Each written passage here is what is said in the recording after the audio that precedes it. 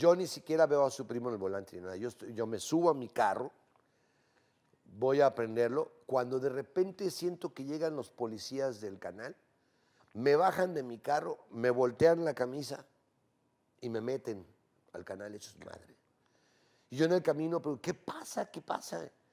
Dice, acaban de levantar a la gata. Digo, no, no, no, la gata estaba conmigo. Lo acaban de levantar, escúchame. Me llevan a noticias. Va todo un equipo de, de seguridad me llevan a noticias. Y este, a, a ver, eh, no, no entiendo, no, no, no, no es cierto. Yo lo acabo de ver, le dije, eh, y, bueno, pues se subió a su carro y dando la vuelta, lo agarraron y se lo llevaron. Le digo, han de ser sus amigos, porque él tiene amigos, este, como, como él es de, de- de Sierra Ventana, este, algunos mañosos lo conocen, igual están jugándole una broma. Dice, no, no es broma, güey. Dejaron el carro con las puertas abiertas a media calle prendido. Dije, ya valió madre. Entonces, este, y, llega, ya sabes, la PGR, antisecuestros, no sé qué, todos a hablar conmigo. ¿Qué viste? ¿Por qué? ¿A quién conocen?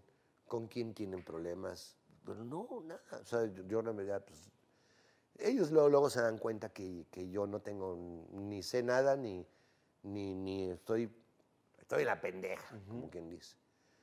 Yo duré muchas horas ahí en noticias. Eran como las 2 de la mañana. Esto había ocurrido a las 7 de la noche. Casi terminando el club. Sí, termino el club. 7.15, 7 y media, no sé. Y, y- y eran las 2 de la mañana cuando, cuando llegan de la de PGR. ¿no?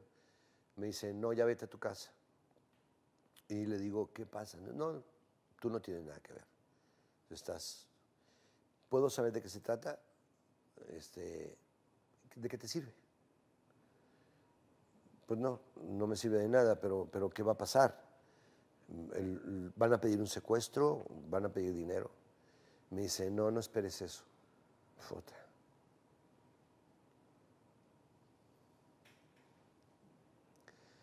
Entonces me voy a mi casa. Estaba yo solo. Tengo un asistente que tiene más de 20 años de trabajar conmigo, el Águila. Y él eh, me dice, voy a estar pendiente, tú trata de dormir. Y entonces yo me meto a mi cuarto, no podía dormir, tenía el teléfono al lado de mí.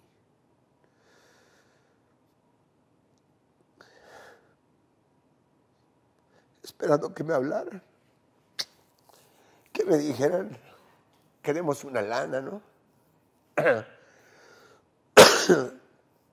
y que, que yo pues negociara. Entonces me toca a las 6 de la mañana o 7 de la mañana, creo que eran las 7 de la mañana. Me toca la puerta el águila, mi asistente, y me dice, ya encontraron el cuerpo.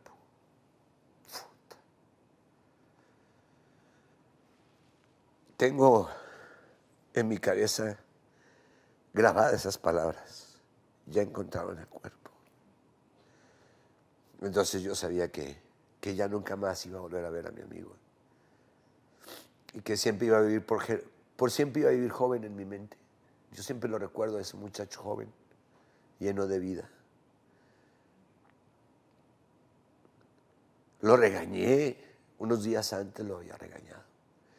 Yo le, yo le había dicho que se, que se alejara de sus amistades, que aunque eran sus amigos, andaban en malos pasos y que siempre había una contra. Y que ella tenía tres hijas hermosas y una esposa hermosa, que se fuera a su casa con ellas. Pero era mucha la fama. Y como los boxeadores, se hacen famosos y los amigos los buscan. Y pues me lo mataron. Ese fin de semana la gata se iba a ganar 80 mil pesos. Nada más ese fin de semana. Con unas presentaciones. Estaba todo vendido. Imagínate el dineral que iba a ganar ese muchacho en su vida. Me lo acababan de pedir para una telenovela con, con este, es- salía Carmelita Salinas y Cuauhtémoc Blanco, de bombero. Sí, sí, recuerdo. Imagínate el madrazo que iba a ser.